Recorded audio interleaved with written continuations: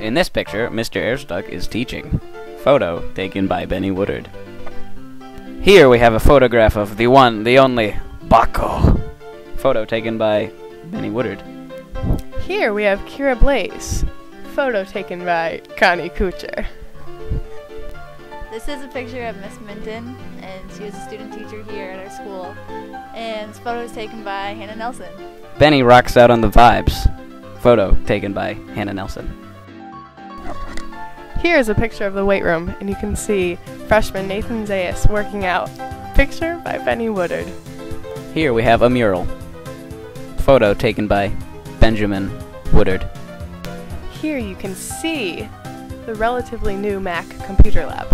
Photo taken by Benny Woodard. Here you can see the high school courtyard on a rather overcast day. Photo taken by Connie Couture. This is a picture of the bridge outside of the school. Photograph taken by Benny Woodard. This is a photographical representation of friendship. Photograph taken by Hannah Nelson. This is a picture of like loneliness. I'm already recording it, Connie. But I'm just so lonely that I don't care. Photograph taken by Benny Woodard. This is a picture of scholarship. Mr. Langevin is a very scholarly person. Picture taken by Connie Couture.